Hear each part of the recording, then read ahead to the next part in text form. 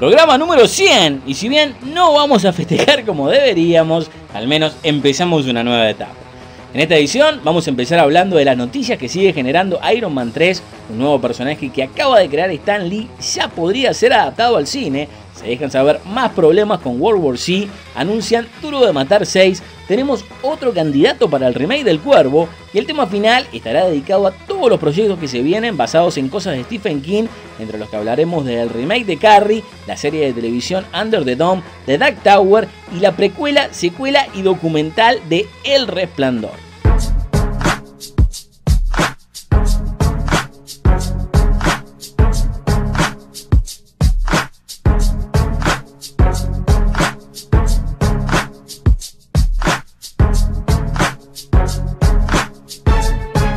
Hola, ¿qué tal? Bienvenidos a esta edición de Escuchando de Película, el programa radial de cine súper internacional. Mi nombre es Algo Rosito y todas las semanas te traemos el cine a tu casa para que salgas a ver.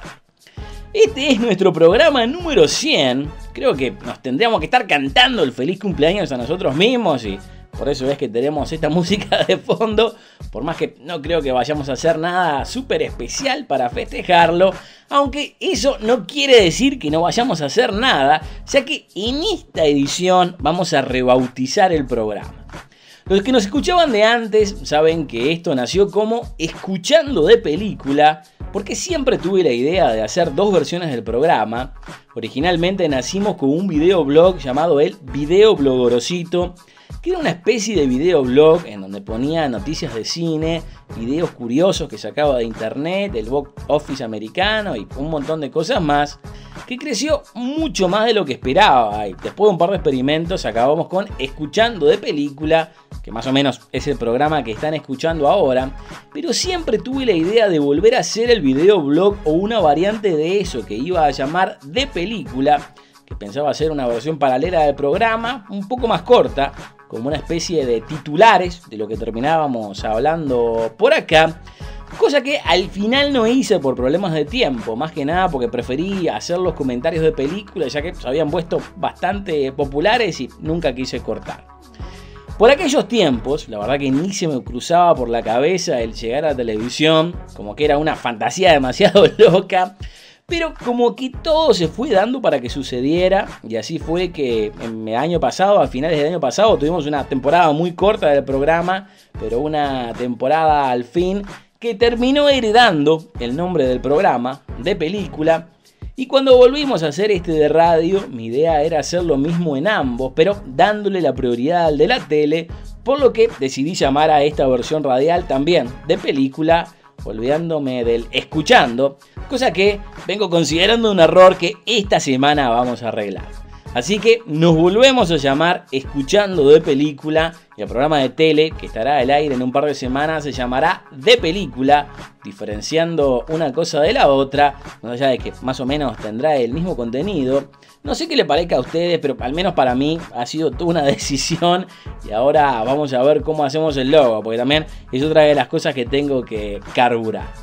En lo que tiene que ver con las cosas del programa, les cuento que en gorosito.tv van a poder encontrar mi comentario de Iron Man 3, que si no me equivoco es el más largo que he hecho en video hasta ahora. Tiene como 15 minutos. El más largo en sí ha sido el de Tron Legacy, que creo que me quedó como de 45, pero ese era solo en audio. Y vamos a ver si en esta época de blockbuster podemos hacer uno para cada una de las cosas más grandes. Cosa que puede llegar a ser un problema, porque me acabo de enterar que una de esta lista como que va a tardar bastante en llegar por estos lados. La semana pasada les decía que el tema final de esta iba a estar relacionado a la segunda parte de Star Trek, pero lo cierto es que si bien en Estados Unidos se va a estrenar en un par de semanas, al menos en Argentina no lo hará hasta agosto de este año. Lo que tengo que decir que me puso en un aprieto porque en México, Colombia y Perú, que son mercados en los que sale este programa, la película se va a terminar estrenando en mayo, en Venezuela en julio. Y por más que acá, o al menos en Argentina, que me imagino que es lo mismo que acá en Uruguay, tendremos la película recién en agosto, como que estoy decidiendo cuándo ponerlo para que no sea una noticia demasiado tempranera para algunos, o sobre todo, que es lo peor, demasiado tardía para otros. Creo que si lo hago, lo voy a hacer la semana que viene, pero todavía no decidí si lo pondré como una noticia, como un todo lo que tenés que saber antes de verla. En realidad es lo que quiero hacer, pero como sea, esta semana tomo la decisión y vamos a ver qué es lo que dice Dios que hagamos en la otra. También les cuento que subtitulé mi participación de la semana pasada en el AMC Movie Talk. Hubo un par de personas que me dijeron que no entendían nada, así que lo hice y creo que quedó bastante bien. En el caso de que quieran mirarlo, se los voy a dejar tanto en nuestra página, gorosito.tv, entre los links de la semana, como en nuestro canal de YouTube, youtube.com diagonal gorosito. Así pueden ver la versión subtitulada. Y vamos a ver si dentro de poco me tienen de invitado por ahí, que es a lo que estoy aspirando. Les confieso que tengo miedo de hacer algo en vivo en inglés, más que nada porque hace tiempo que no lo hablo de corrido, pero como le estaba diciendo un amigo en estos días, absolutamente todas las cosas que hice las empecé con miedo y eventualmente le terminé agarrando la mano. Así que espero que salga y una vez que estemos en el baile me preocuparé de por si puedo bailar o no. Lo último, siendo algo de lo que hablaremos también en próximas ediciones, es que estamos buscando proyectos cinematográficos sobre los que podamos informar en el programa sin importar la etapa de producción en la que se encuentren, los cuales no solo van a ser parte de este programa de radio, sino también de nuestra versión televisiva. Quiero agradecerle a la gente de los fondos de incentivo cultural que pusieron nuestro anuncio al respecto en su página principal. Y para los que no lo conocen, los fondos de incentivo cultural son un programa del gobierno uruguayo por el cual empresas privadas pueden apoyar monetariamente a proyectos culturales de todo tipo. Esto sea un concierto, un baile, un museo, una revista o, como en nuestro caso, un programa de radio y televisión.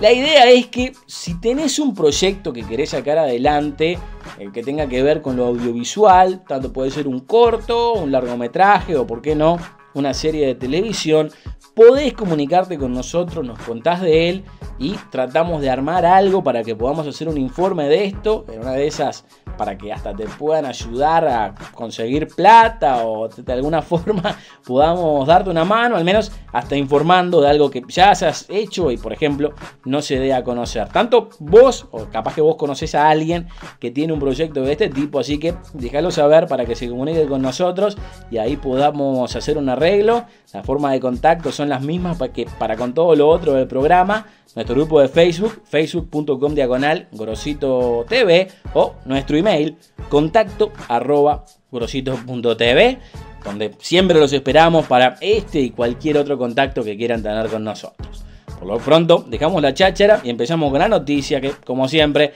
se nos va a hacer corto el programa. Extra, extra, read all about it. Las noticias de la semana.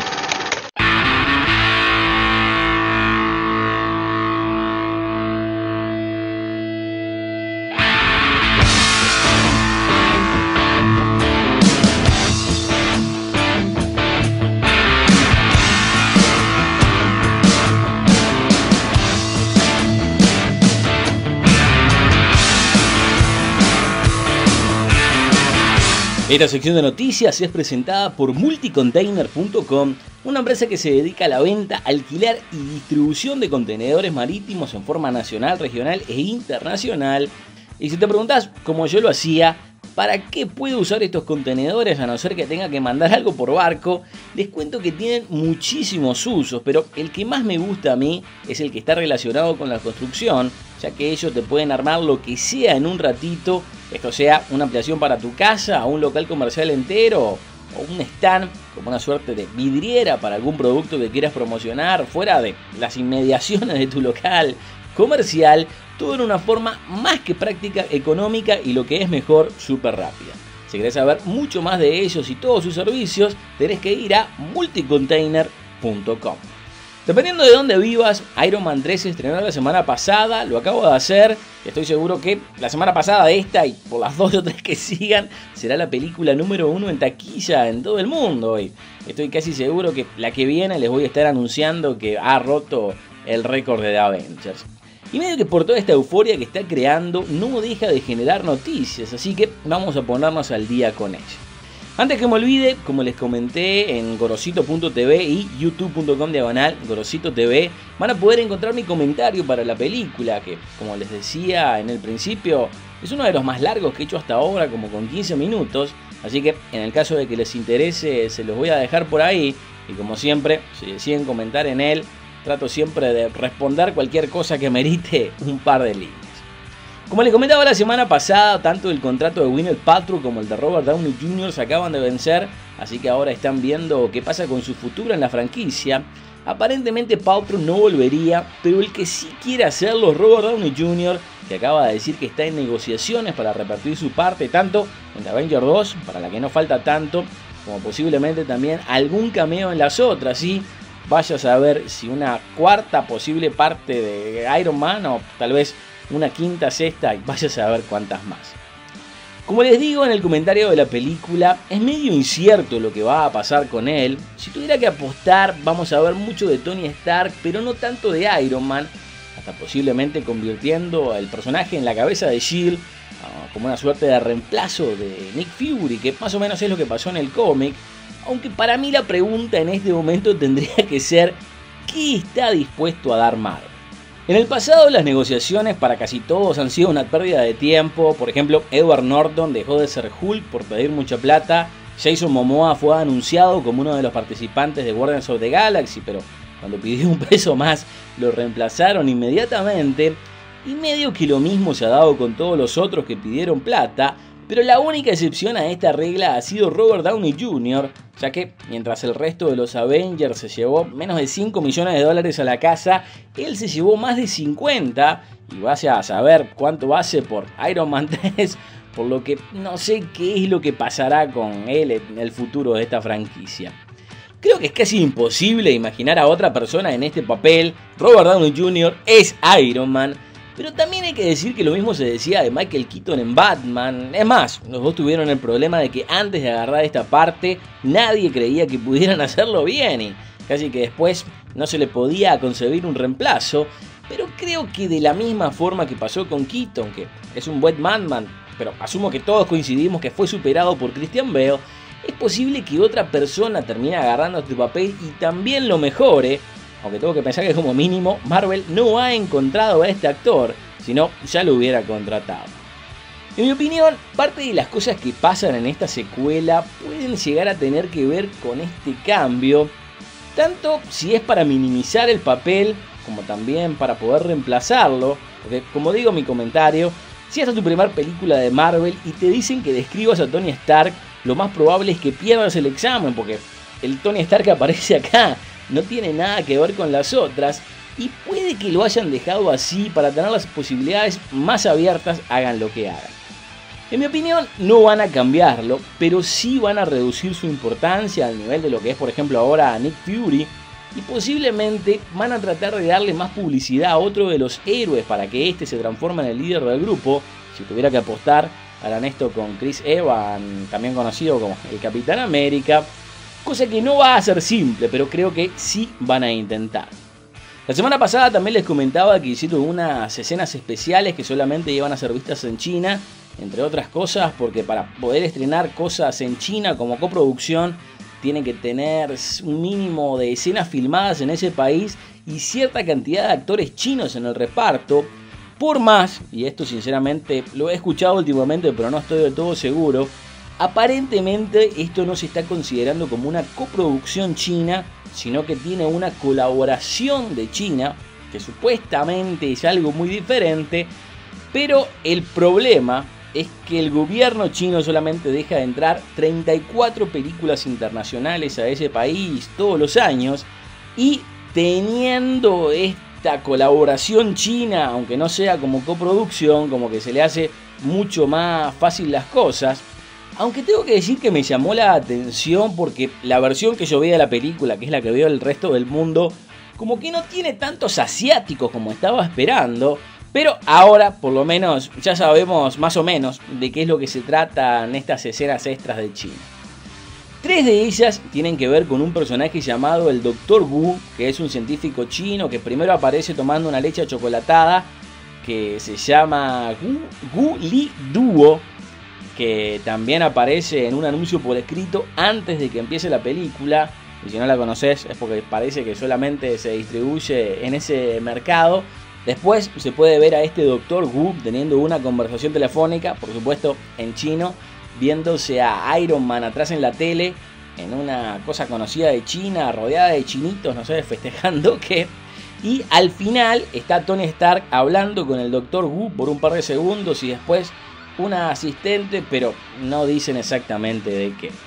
También dicen que hay un par de escenas en donde se ven anuncios de empresas de por allá que no son conocidas en el resto del mundo. También el mandarín tendría algún cambio para no dejar dudas que no tiene nada que ver con China. Más allá de que no se dice exactamente qué es y se sigue llamando el mandarín. Que más chino que eso yo creo que es imposible.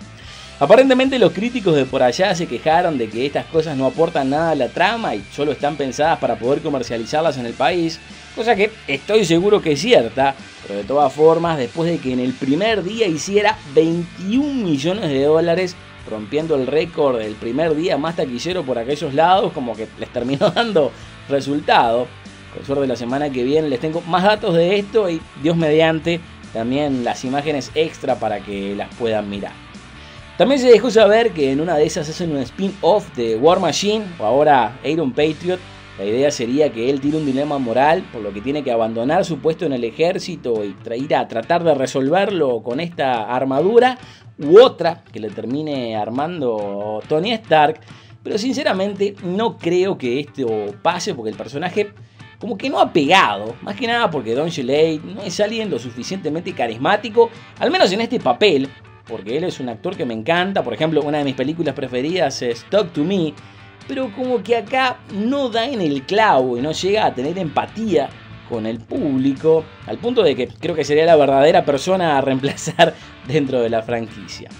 Para ser sincero, tengo muchísimas más cosas inmateriales que quiero darles como parte de esta noticia, entre ellas algunos productos que van a poder conseguir en línea, pero como tenemos un tema final tan largo, todo el resto lo dejamos para la semana que viene, ya que estoy seguro que vamos a seguir hablando de esto. Y creo que no solo de toda la plata que va a terminar haciendo.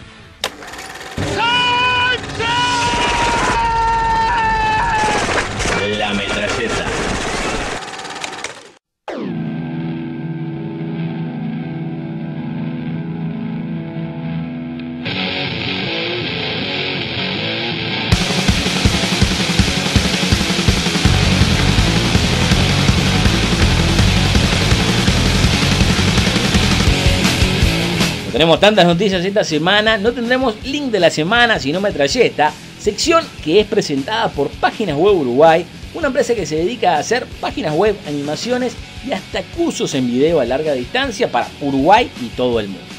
Como saben, ellos son los que nos han hecho la página a nosotros y le han puesto un montón de novedades en estas últimas semanas, como por ejemplo la posibilidad de escuchar la versión en audio del programa desde la página mismo, a la vez de que podés bajarlo en MP3 en forma inmediata para escucharlo en tu celular, en MP3 Player o donde se te ocurra. Opción que sumamos más que nada porque algunos se pierden el programa en la radio y cuando lo tratan de escuchar en YouTube se les corta o capaz que les es, les es lento hay sentido que mucha gente tiene que pagar como 99 centavos de dólar para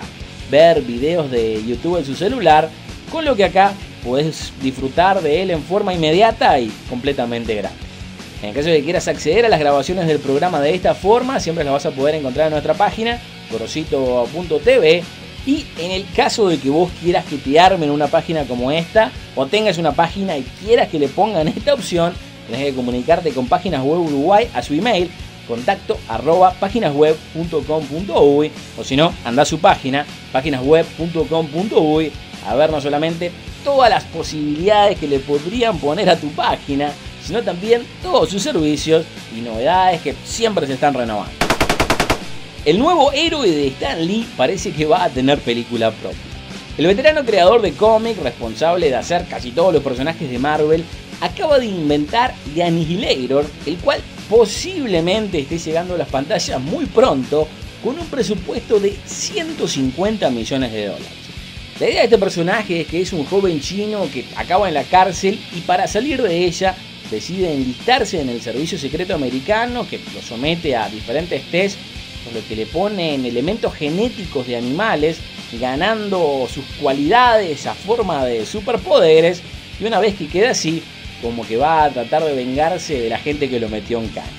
Por ahora todo lo que se sabe de ella es su presupuesto y que estaría llegando a las pantallas en el 2015, pero si me preguntan no va a pasar de este anuncio porque es demasiada plata para un personaje que nadie conoce. Imagínense que Dredd, por ejemplo, habiendo tenido una película anterior, que puede ser mala o buena, pero al menos conociéndose el personaje, y esta versión estando más o menos, creo que recaudó un poquito más de 5 millones de dólares. Así que no creo que esta película de Stan Lee se dé ni siquiera bajando el presupuesto a 20 millones. Y creo que va a terminar en el mismo lugar que quedaron los planes de Stan Lee y Schwarzenegger para ser The Governator, el cual nunca se supo más nada, por más que salieron en la tapa de Entertainment Weekly a anunciar. Esto es algo que no hemos seguido mucho, más que nada porque hasta tenía miedo de que nunca llegara a las pantallas, pero lo cierto es que World War Z ya casi está en los cines. Esta es una producción que tuvo muchísimos problemas, teniendo hasta que correr la fecha de estreno seis meses, porque querían estrenarla originalmente en diciembre del año pasado. Entre las cosas que se han dicho de ella era que querían cambiar al director, entre otras cosas porque su presupuesto casi que se duplicó a 200 millones de dólares y esto se puede deber a que tuvieron que refilmar el tercer acto en forma completa, lo que quiere decir algo así como 30 o 40 minutos de película. Aparentemente estos problemas ya fueron resueltos completamente y por lo que se ve en los trailers puede llegar a ser la mejor película de zombie de todos los tiempos. Y no estoy exagerando. En caso de que no lo hayan visto los trailers se los invito a ver porque la verdad que te dejan con la boca abierta. Aunque también hay que tomar en cuenta que los trailers por lo general no quieren decir mucho. Y por cada película que tiene problemas como Titanic y termina siendo un montón de plata, hay muchísimas más que lo tienen y terminan siendo una porquería, como eh, Los Héroes del Espacio que se acaba de estrenar esta semana en, en Uruguay o Men in Black 3, que ha sido una de las peores películas que he visto en los últimos 10 años. Por lo pronto, por lo que hemos visto de World War Z, la cosa pinta más que prometedora, más allá de todos estos problemas potenciales. Hablando de buenos trailers que acabaron en muy malas películas, créanlo o no, es posible que hagan una sexta parte de Duro de Matar. Una de las peores decepciones que me he llevado este año fue la quinta parte de esta serie. Ni se imaginan la gana que tenía de verla, al punto que salí corriendo del canal para poder llegar a la primera función del primer día de estreno no solo me había quedado de encontrar con una tipa que no llegó, lo cual fue toda una decepción, sino que terminé viendo una de las peores películas que puedo recordar. Creo que el mayor problema es la falta de sentido, sobre todo al final con esto de la radiación, al punto de que si me hubieran preguntado, no creo que hubiera concebido la posibilidad de que hicieran una sexta parte, pero aparentemente estoy equivocado, ya que se ha dejado saber que está en una etapa muy temprana de producción, pero en una etapa de preproducción al fin. Por ahora solo estarían en el tratamiento de la historia, lo que quiere decir que están armando el esqueleto que de ser aprobado lo llevaría a escribir el guion y según dicen, esta vez John McClane terminaría en Japón. El título tentativo es Die Hardest y supuestamente el personaje iría a sus raíces al estilo de lo que hicieron con la última de Viendo la calidad de la última, diría que no va a pasar pero tomando en cuenta que costó 92 millones de dólares y recaudó 300 a nivel mundial, como que la plata todavía estaría ahí. Lo único que la pondría en duda es que de estos 300 millones solamente 67 se produjeron en forma doméstica en Estados Unidos, pero siendo una de las franquicias más exitosas de todos los tiempos, creo que nadie se estaría sorprendiendo de ver una próxima parte. La semana pasada les contaba que tenía un nuevo posible actor para el remake de la mejor película de todos los tiempos, El Cuervo, y esta ha surgido un nuevo candidato que en realidad es mucho más seguro que Tom Hiddleston, mejor conocido que como Lo. La persona en cuestión es Alexander Skarsgård, y espero que no esté diciendo mal el apellido, el rubio de la serie de HBO True Blood, del que se dice que tiene la preferencia para el papel, o sea, que si lo quisiera es de él y en el caso de que lo rechace, recién empezarían a pensar en Loki, entre otras cosas, porque aparentemente la relación que tiene la productora con este último actor solamente se limitaría a una conversación muy preliminar, porque estaría negando todo lo que se dijo de esto la semana pasada.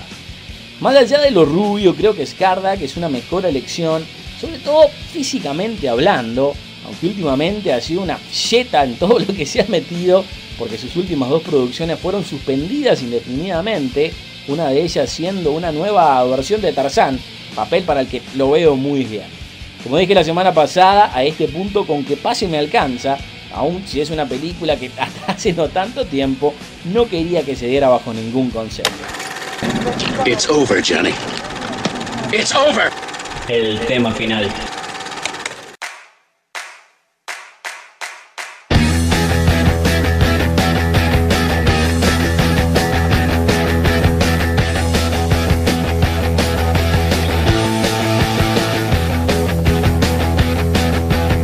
Esta semana el tema final va a estar dedicado a Stephen King, mi autor favorito, y todas las cosas que le están por adaptar a la pantalla grande y chica, ya que está más prolífico que nunca. Como siempre, el tema final es presentado por el consultorio odontológico Gavito Mira, uno de los más afamados del país y no por eso de los más caros, el cual está ubicado en 18 de julio 878, apartamento 302, a una cuadrita y media de la Plaza Independencia, o sea que más o menos imposible y con más servicios la verdad que tampoco. No solo tiene un staff de como 10 dentistas, sino que también cuentan con instalaciones de última generación y las técnicas más avanzadas del país, en donde te pueden hacer desde una limpieza común y corriente a la operación más compleja, todo de la mano de especialistas guiados por el doctor Gavito, que siempre está atento a todos los procedimientos que se están llevando adelante. Y en el caso de que quieras conocer más de ellos, puedes hacerlo tanto yendo a su consultorio o a consultoriogavitomira.com estés donde estés en el mundo para enterarte de todas sus especialidades y servicios. Desde chico a mí me gustó escribir, al día de hoy por falta de tiempo solo lo hago con cosas de cine, pero cuando era más joven me daba por hacer poemas, libros que nunca terminaba, a no ser por un par que hice para una tipa, los cuales no sé si podrían considerarse libros porque no eran lo suficientemente grandes, pero no es que no hayan llevado sus buenos meses de trabajo. Y en todo este tiempo evitaba leer cosas, porque por lo general tendía a escribir en el mismo estilo de las personas que leía, cosa que me dijeron que no era buena idea, no el copiar, sino el no leer, porque supuestamente así es como aprendés a escribir. Pero sea como sea, la única excepción que siempre tuve a esta regla fue Stephen King. No estoy muy seguro cuál fue mi primer película de él, porque seguramente vi varias que no sabía que venían de su mano pero la primera que recuerdo como de él es Cementerio de Animales, que me impactó de tal manera que también se transformó en el primer libro que leí, el cual me acuerdo que tenía en las clases de primero del liceo y lamentablemente le presté a mi hermana que vivía y hasta el día de hoy vive en Paraguay, que muy cristiana ella, al ver lo que pasaba lo terminó quemando por ser demoníaco, cosa de la que no me voy a poner a hablar ahora. La cosa es que después de eso traté de mirar la mayor cantidad de cosas que venían de su mano y siempre fueron a cual mejor lo que era directamente proporcional para lo malo de las segundas partes que también hacían basadas en sus libros, como fueron Cementerio de Animales 2 o todas las secuelas de Cosecha Negra, que también fue conocido como Los Niños del Maíz o Children of the Corn, que creo que llegó como hasta la sexta o séptima y era a cual más espantosa, a la vez de que nunca entendí cómo él no podía conservar los derechos, porque una cosa es que le hagan esto a un autor primerizo, pero para cuando estas secuelas llegaron a la pantalla, él ya era uno de los autores más prominentes del mundo. Con el tiempo leí casi todos sus libros, aunque en algunos casos hacía trampa porque en vez de leer los libros escuchaba los audiolibros, que en sí es medio lo mismo, y en casi todos los casos, por más que las películas eran impresionantes, los libros eran mil veces mejores, cosa que en un principio pensé que era porque en una película solamente tenés dos horas para contar la historia y en el libro no hay límite, pero medio que lo mismo se da a la hora de las miniseries, en donde se tomaban 6 a 8 horas para contarlo y de todas formas no llegaba al nivel que él ponía en la página impresa. En la actualidad, él tiene más de 100 cosas adaptadas al formato audiovisual y al menos 13 en camino, entre cortos, series de televisión, miniseries y películas, y esto es sin contar las cosas que se rumoran, por lo que vamos a hacer una repasada de muchos de estos trabajos que nos estarán por llegar dentro de muy poco a las diferentes pantallas.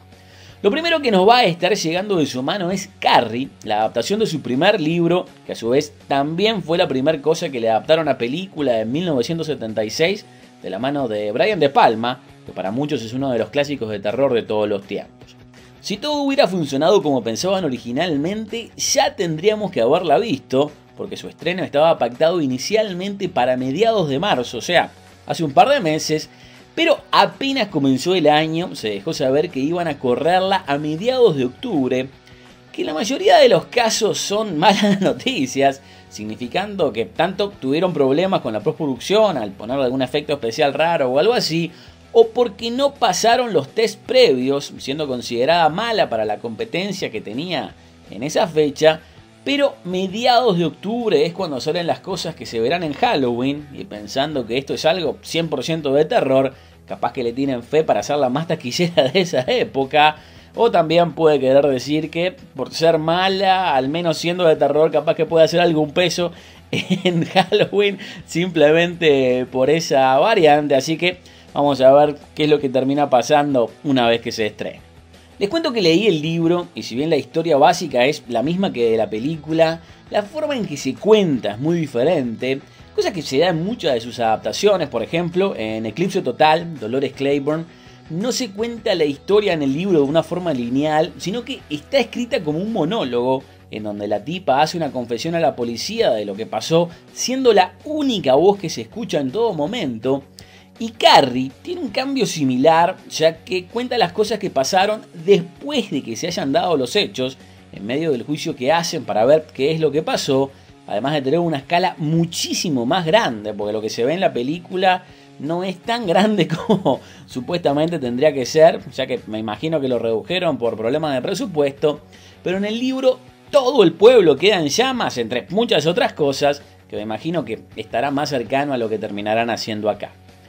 El gran problema que le veo a esta versión es la actriz que le están poniendo, Chloe Moretz, mejor conocida como Hit Girl, porque como que es demasiado linda para el personaje, cosa que por ejemplo Sissy Spacek no era y por eso terminó funcionando tan bien, por lo que tendrán que convertirla en una tipa rara, ya que no es que le vayan a tomar el pelo por fea, idea que asumo que tenían desde un primer momento, tomando en cuenta que todas las otras opciones que tenían para el papel también eran estas actrices lindas como Dakota Fanning y sobre todo Lily Collins, que es una muchachita que me encanta. Lo que puede cambiar un poco el espíritu original del personaje. Y si me preguntan, creo que la persona perfecta para este papel hubiera sido Emily Browning, la principal de Soccer Punch, que en mi opinión es media feita. Al menos tiene una de esas caras raras que la podés volver bastante fea si no le pones maquillaje, la cual estuvo entre las finalistas, pero me imagino que por falta de renombre no quedó. Y la otra que se me acaba de ocurrir que podía ser una buena opción es Abigail Breslin, la que sale en 911 llamada Mortal o The Call, junto a Holly Berry, que cuando la vi en esta película, la verdad que me pareció bastante fea y creo que definitivamente hubiera sido una mucho mejor opción para este papel. Y creo que la elección de esta actriz también va a cambiar la historia en lo que tiene que ver la escena más memorable del film, al menos para mí, porque no creo que sea en la que Carrie tiene toda esa sangre arriba en el prom, sino que a mí la que más me quedó fue la que ella tiene en la ducha junto a todas sus compañeras cuando tiene el periodo por primera vez y como que la empiezan a abusar. Y en la original, Spacek pudo hacer esta escena desnuda, que es de la forma que tendría que ser según el libro, porque tenía 26, 27 años al momento de filmarla. Pero Chloe tiene 15, por lo que definitivamente no va a poder hacer lo mismo y casi que en algunos países ni siquiera la dejarían entrar a la sala a ver la película con esa edad.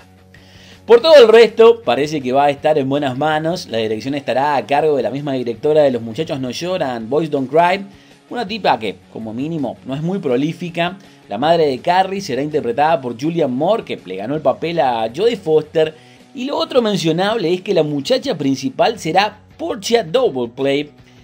una tipa que no creo que nadie conozca todavía por cara o nombre, pero la cual acabo de ver en K11 y la verdad que me encantó y no dudo que ella pueda llegar a ser la revelación de esta cinta, a la vez de que también pensándolo bien, en una de esas podría haber sido una mucho mejor cara. La historia va a mantener más o menos los mismos parámetros, una muchacha adolescente que es abusada tanto por su madre, que es súper cristiana, como sus compañeros de liceo que la usan por diferentes motivos, en este caso no va a ser por ser fea, llevándola a un ostracismo que la anula, siendo ayudada por una profesora que le tiene lástima, la cual trata que la incluyan en el grupo de su clase, pero los problemas empiezan cuando le hacen una broma muy pesada en la fiesta de graduación, desatando su furia que se expresa con poderes telequinéticos que son capaces de destruir todo el pueblo en el que vive. En caso de que quieran ver fotos, trailers, pósters y hasta la página oficial de la película, pueden ir a gorosito.tv y así están absolutamente preparados para el momento en que se estrene. El siguiente largometraje que va a venir, asumo que en algún momento del 2014, es Mercy, basado en el corto Gramma, el cual ya se había adaptado a una historia de la serie de televisión La Dimensión Desconocida. En él, dos niños se van con su madre a cuidar a su abuela enferma y terminan descubriendo que todas las cosas raras que están pasando en la casa son producto de que su abuela era una bruja que había hecho un pacto con el diablo. En el reparto está el nene principal de Super 8 y Dylan McDermott, y hasta donde entiendo ya está terminada, por lo que no dudo que pueda llegar en Halloween del 2014 o hasta posiblemente mucho antes. Después de esto van a venir cosas menores, como por ejemplo el lechero, que en realidad es algo tan chico que no estoy muy seguro cómo consiguieron la plata para los derechos, pero está basado en un cuento corto en donde una criatura ataca un pequeño pueblo el cual será defendido por un policía y el encargado de una estación de gasolina. Casi que lo mismo es la muerte de Jack Hamilton, que se centra en el escape de esta persona de John Dillinger después de huir de un robo en donde hieran al primero de bala, con lo cual como que se empieza a volver loco. En lo que tiene que ver con la televisión, están haciendo una miniserie de 13 capítulos basada en Under the Dome, una historia que cuenta que un pequeño pueblo, cuando no, siendo algo de él, queda atrapado bajo un campo de fuerza del que nadie puede entrar o salir. Y este libro no lo he leído como casi, casi todo lo último de él, pero he sentido muy buenos comentarios. Sé que estaban diciendo que lo iban a estrenar en el verano del norte del 2013, lo que sería ahora, pero no veo por ningún lado la fecha de lanzamiento, aunque asumo que es solamente cuestión de tiempo hasta que lo anuncien. En el caso de que quieran ver el teaser trailer y un detrás de cámara, también se lo dejo en gorosito.tv. Más adelante, esto ya sin fecha de estreno, se viene otra miniserie basada en su libro El Talismán, en donde un tipo tiene que ir a un universo paralelo en busca de un talismán para salvar a su madre de la muerte. Y estos dos últimos proyectos de televisión van a ser producidos por Steven Spielberg, o al menos la gente de él. Y medio que de acá para adelante vamos a hablar de cosas que no son tan ciertas, pero que de una manera u otra están en alguna etapa de preproducción.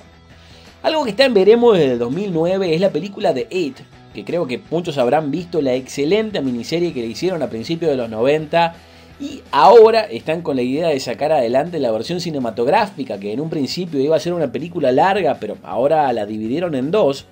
la cual por ahora no tiene fecha de comienzo, pero sí director, habiendo confirmado al mismo de Sin Nombre, una película que mucha gente me ha recomendado, pero nunca me hice el tiempo de ver. Y hasta el momento no hay más datos que este, pero les cuento que una vez quise leer el libro y hasta lo tuve en las manos más de una vez, pero es tan grueso que te da la impresión de que no lo vas a terminar más. Y creo que en el caso de que se confirme, al menos voy a conseguirme la versión del audiolibro. Otro caso interesante es The Ten O'Clock People. Esto supone ser un largometraje basado en un cuento corto en donde gente trata de dejar el cigarrillo a través de un método medio raro y descubre un aspecto oculto de la realidad, o al menos eso dice la sinopsis, lo que suena muy parecido a uno de los cuentos cortos de Cat's Eye, una película que tenía tres historias de él que se hizo a mediados de los 80, en donde tenían una Drew Barrymore bien chiquita pero por ningún lado veo que se haga referencia a que esto es una especie de remake o al menos está basado en la misma cosa,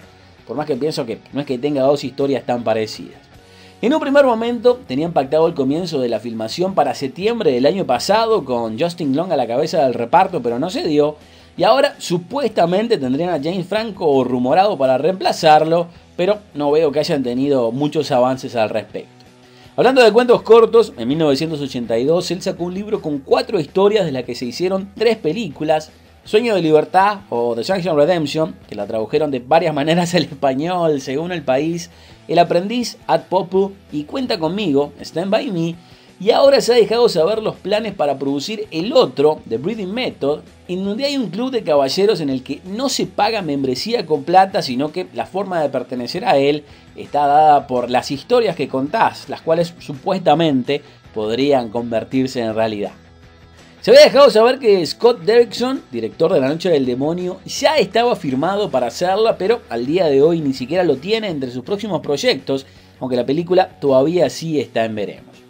Algo que sigue en el limbo es The Cell, la cual ya tendría confirmado a John Cusack en el reparto, siendo la tercera vez que hace algo de Stephen King después de 1408 y Cuenta conmigo, que se trata de que como que se tira un rayo que convierta a todo el mundo que tiene celular en un zombie, con lo que el personaje de John Cusack, que no usa celular, un escritor de cómics que acaba de tener su primer éxito, tendrá que reunirse con su familia para escapar de estos monstruos, lo que suena bastante estúpido si no fuera que tiene a Stephen King atrás de él. Y lo último que acaba de anunciarse es el remake de Cuyo. Yo tenía un gato que le puse así. Ya que la gente que la hizo originalmente todavía tiene los derechos sobre el libro y dijo que para festejar los 30 años hará un remake, entre otras cosas porque tomando en cuenta la inflación, al día de hoy esa película habría recaudado 225 millones de dólares solo en lo que tiene que ver con cine, por lo que me imagino que esperan repetir la hazaña. Otras cosas que se han rumorado y no se dieron, o al menos todavía no se han dado, son Eyes of the Dragon, que suponía ser una miniserie para el canal Sci-Fi que estaría producida por la misma gente de Battlestar Galactica, que sería algo al estilo corte medieval, pero me imagino que lo suspendieron porque estaba apuntado a un público adolescente y como que eso ya no está funcionando. También otra cosa que se anunció y no se ha confirmado es la adaptación de Rose Madden, una historia que cuenta que una tipa que es abusada por su marido descubre que se puede meter en las pinturas volviendo como las personas de esas pinturas. Y lo último que sentí de esto fue que habían comprado los derechos para producirlo y estaban por sacarlo adelante en los próximos 18 meses, periodo en el que todavía nos encontramos, así que probablemente capaz que sepamos más de eso en un futuro. A todo esto hay que sumarle otros proyectos que están siendo rumorados como The Reaper's Image, Home Delivery y los remakes de Firestarter y Cementerio de Animales. Pero eso está muy lejos de ser todo lo que hay de él, porque hay muchas otras cosas en veremos, entre ellas The Dark Tower, de la que hablamos largo y tendido en programas pasados, tanto como cosas de él, como por ser el próximo nuevo proyecto de Ron Howard.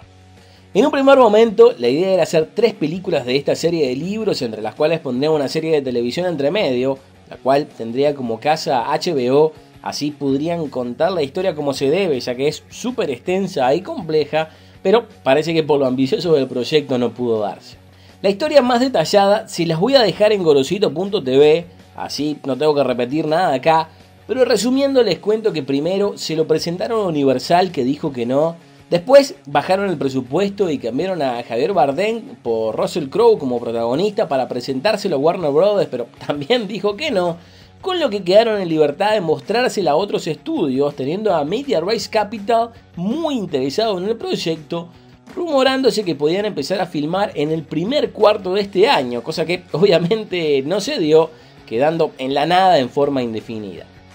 Pero esta misma semana se dio a conocer que la gente de Netflix, que para los que no lo conocen, son una empresa que originalmente se dedicaba al alquiler de DVDs por correo, pero ahora ha empezado a producir series de televisión, teniendo una muy buena experiencia con House of Cards, protagonizada por Kevin Spacey, y ahora está a punto de lanzar una nueva temporada de Arrested Development.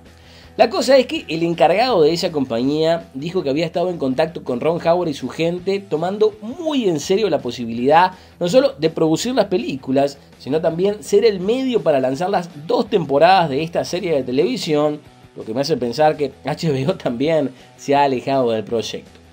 Por ahora, esto no son más que especulaciones, pero según dicen, una vez que Arrested Development salga al aire, se volverán a juntar para hablar al respecto. Aunque para ser sincero, dudo que la compañía tenga suficiente plata para sacar algo como esto adelante. Y si bien de ser algo exitoso puede ser el empujón que necesitan para convertirse no solo en una plataforma mucho más reconocida, sino también un medio más popular, en el caso de que no tengan éxito, perfectamente podría fundirlos. Otros dos proyectos que están en veremos hace tiempo son The Stand y 112263. El primero es la versión cinematográfica de lo que fue la miniserie de televisión Apocalipsis, que todavía debo tener por ahí en alguna caja en mis VHS llenos de humedad, de la cual se viene hablando hace tiempo y tendría a Ben Affleck como director. De la misma forma que pasa con The Dark Tower, la idea es transformarla en una trilogía de películas, lo cual es bastante probable porque les cuento que leí el libro y es larguísimo, Además de que me acuerdo que estaban sacando un cómic basado en esto, del cual me compré muchos de los primeros números, pero después simplemente dejé de hacerlo, no porque estuvieran malos, sino porque simplemente me olvidaba al comprarlos, leerlos en un ratito y tenés que esperar tanto para que salga el próximo número. Pero ahora que lo pienso en una de esas, capaz que estaría bueno ponérselo a buscar porque ya capaz que lo habrán terminado. Según se sabe, el plan sigue siendo el producirla a través de Warner Brothers y el mismo King dijo que quería a Jake Gyllenhaal como protagonista. Y de la misma forma que pasa con la anterior y la próxima de las que les voy a hablar, en gorosito.tv van a ver una grabación de programas anteriores en donde hablo de este tema largo y tendido, lo cual les invito a escuchar, así no tengo que repetirlo todo por acá, no solo por problemas de tiempo, sino porque hay mucha gente que ya me ha escuchado hablar de eso. Y el otro proyecto del que hablo ahí es 112263, que trata de un profesor de historia que viaja en el tiempo para impedir el asesinato de Kennedy, lo cual estuvo más que confirmado para empezar a hacerse hace como un año, pero aparentemente el director Jonathan Demme, el mismo del Silencio de los Inocentes, y el propio King no pudieron ponerse de acuerdo a la hora de la adaptación, por lo que el director se terminó alejando del proyecto, más allá de que dicen que siguen siendo buenos amigos. Ahora se dejó saber que la productora de J.J. Abrams, Bad Robot, podría ponérsela a producir, pero no como una película, sino como una miniserie de televisión, aunque sinceramente esto me parece bastante improbable. Y las últimas dos cosas que voy a mencionar van a tener que ver más o menos con lo mismo, por más que tengan grandes diferencias. Primero, les cuento que salió un documental llamado Room 237 o Habitación 237 en donde hacen un análisis del Resplandor, la película dirigida por Kubrick y protagonizada por Jack Nicholson, y en este documental se le preguntan a varias personas su opinión de la misma, y para ser sincero creo que es mil veces más interesante para aprender sobre la crítica de la película que esta producción en sí, al menos para mí que me dedico a eso. En el documental se presentan varias teorías de lo que en realidad se trataría la película, todas salidas de pistas que estos críticos terminan encontrando en ella, y mientras unos opinan que es sobre el holocausto o la matanza de los indios nativos de Estados Unidos, otros creen que es sobre la llegada del hombre a la luna y les aseguro que no los estoy jodiendo. En el caso de que puedan encontrarla por ahí se las recomiendo porque está bastante linda, más allá de que también es posible que más de uno se aburra y no tengo ni idea cómo hicieron para producirla porque tiene demasiadas imágenes de otras cosas que no sé si habrán conseguido los derechos. Capaz que siendo documental es más fácil hacerlo, pero la verdad es que no me sorprendería que le pusieran un juicio. Pero de gustarte lo que tiene que ver con la crítica de películas, o esta película específicamente, te aseguro que te va a encantar. Más allá de que yo tengo que decir que El Resplandor a mí nunca me terminó de convencer, más allá de que leí el libro y me encantó, aunque esto de decir que Resplandor no es muy bueno, o sea, casi que sacrilégico para todos los amantes del cine. Y lo otro que tiene que ver con esto es que tanto Warner Brothers está planeando hacer una precuela del Resplandor, como que el próximo libro de Stephen King va a ser una secuela de este libro llamado Doctor Sleep, la cual ya está escrita ahí, de la que se puede intuir una adaptación cinematográfica casi que en forma inmediata. En lo que tiene que ver con la precuela, la idea es contar las cosas que pasaron en este hotel antes que los personajes de la película llegaran. Lo que creo que sería una mala idea para una película, pero una buena para una serie de televisión, ya que podrían hacer algo al estilo de lo que se está dando ahora con Bates Hotel, que supone ser la precuela de Psicosis o Hannibal, que es la precuela de Dragón Rojo y El Silencio de los Inocentes. De esta última serie vi los primeros dos o tres capítulos y la verdad que me gustó bastante se la recomiendo. No lo seguí viendo porque no, no me gusta mucho la televisión. Pero si hicieron una serie de televisión de esto que tiene que ver con el resplandor, creo que sería una buena forma de contar diferentes historias de fantasmas que pasen en el hotel. Porque no me imagino que otra cosa podrían hacer como precuela que estuviera relacionada con esta historia. A no ser que hiciera una película que contara las cosas de la foto que se ve al final.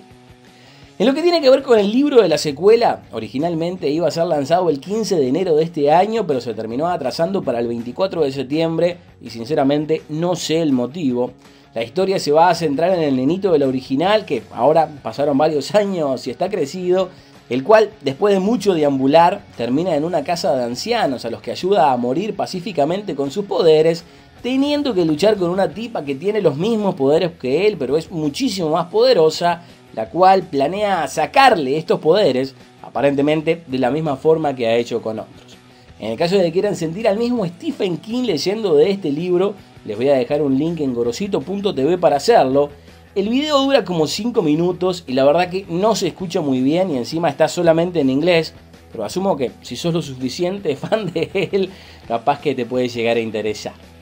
Ahora sí, estamos al día, creo que no me quedó nada por decir. Estoy seguro de que seas quien seas, has visto algo de él, tanto en lo que tiene que ver con películas, miniseries o hasta algún capítulo de una serie de televisión, porque ha metido la mano en cosas hasta como los archivos X. Y si tenés la oportunidad, te recomiendo que leas sus libros,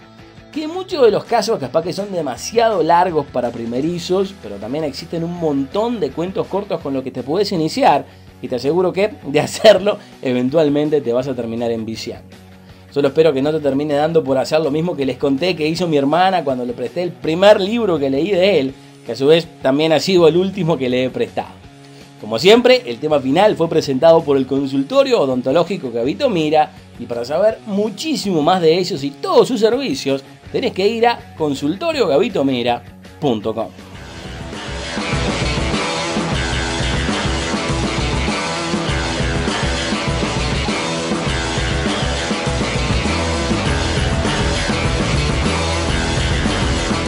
Así llegamos al final, será hasta la semana que viene, a esta misma hora, por esta misma radio o por alguna de las otras de la cadena Gorosito. Si encontraste este programa empezado, te perdiste parte del mismo o lo querés volver a escuchar, siempre podés hacerlo en nuestro canal de YouTube, youtube.com diagonal Gorosito TV, donde todos los lunes ponemos la grabación del programa para verlo en línea, o si no, siempre podés ir a nuestra página, gorosito.tv, en donde no solo vas a poder encontrar los programas pasados, tanto para escucharlos en línea, sino también para bajarlos. Así podés escucharlo cuando estás en la caminadora del gimnasio o haciendo lo que sea en la cocina. Además de que vas a encontrar ahí también toda la información extra de las cosas que les cuento en cada programa entre los links de la semana. Y ya que hablamos de Stephen King, vamos a irnos con una canción que aparece en la banda de sonido del Cementerio de Animales, que como les decía, no solo es la primera película que reconocí como de él, sino que también es el primer libro que le leí. Así que acá los dejo con los Ramones cantando Pet Cemetery desde la banda de sonido de Cementerio de Animales.